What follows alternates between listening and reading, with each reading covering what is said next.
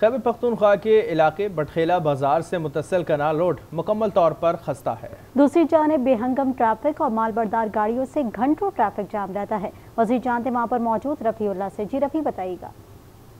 جی بالکل، بٹخیلہ میں بائی پاس نہ ہونے کی وجہ سے سارا ٹریفک کا سارا رش کنال روڈ پر ہوتا ہے۔ لیکن کنال روڈ جگہ جگہ پر ٹوٹ پوٹ کی وجہ سے مقامی شہریوں اور ٹرانسپورٹروں کو سخت مشکلات کا سامنا ہے۔